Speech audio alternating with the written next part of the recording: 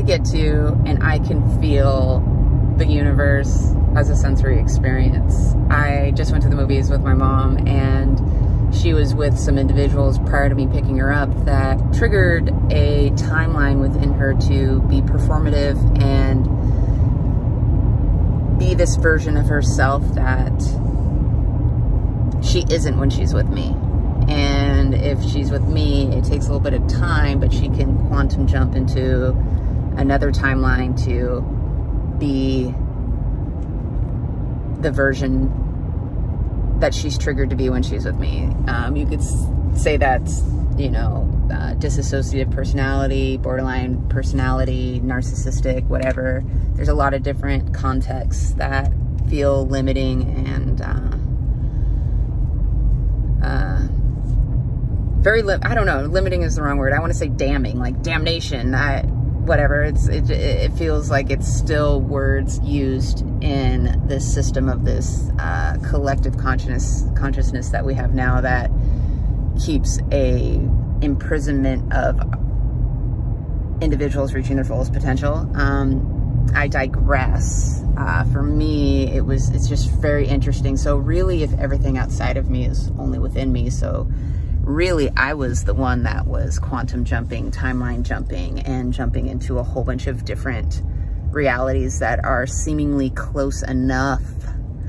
Not huge differences, but small nuances. And I get to feel them like a kaleidoscope, gyroscope, constantly spinning and shifting and twisting and turning.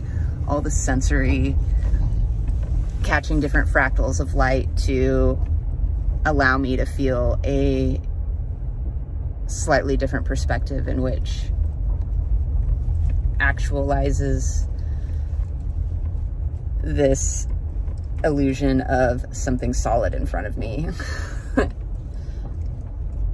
huh. So, yeah, I just time traveled, quantum jumped, and went to lots of different timelines all within the last three hours.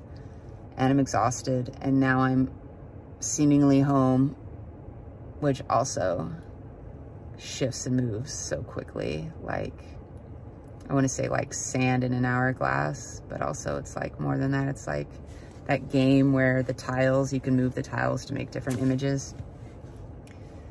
I can see that all happening.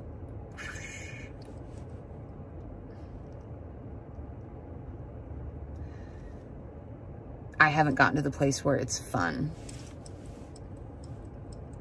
because this the glue that holds the spaces between for me